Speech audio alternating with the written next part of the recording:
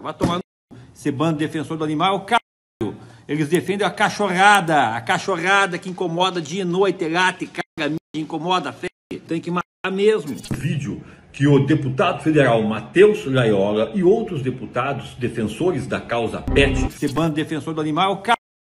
Eu ganhei uma liminar para retirar este vídeo do ar. Caga, incomoda, feia. Tem que matar mesmo. É um vídeo alterado, editado de forma irresponsável. Eu estava defendendo a lei aprovada no Rio Grande do Norte que visa abater cães de rua que estão causando caos e o terror social. Em contato com o prefeito Alain Silveira, que nos garantiu que esse projeto será vetado integralmente. O poder público está certo, os animais têm que ser abatidos, têm que ser mortos, porque estão prejudicando a sociedade, a comunidade. Pô, vai tomar no...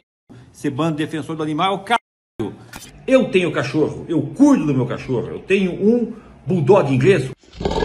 Amo ele, mas Tem que matar mesmo. se ponha no lugar, tenha empatia. Um grande abraço.